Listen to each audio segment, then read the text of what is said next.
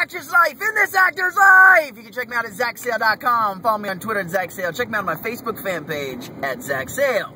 We are on the way to the red carpet premiere of Alvin and the Chipmunks Chipwreck Blu-ray release party. That's right, we'll be hanging out with Jason Lee, some chick from Victorious, a bunch of people from Disney. It's gonna be a good place to network. And so who am I bringing?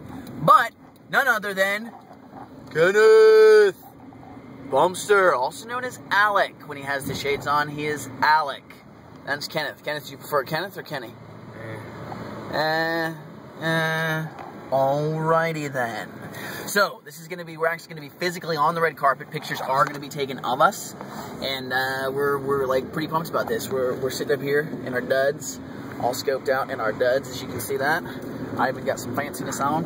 And uh, that's going to be about it. So we'll keep you updated. I'll keep you posted. Uh, follow my tweets because I'm going to be tweeting. Or follow my tweets because I'm going to be tweeting something like that. All right. Talk to you guys later. Bye. Thanks, moms. Follow my tweets because I'm going to be tweeting. Talk to you later. Bye.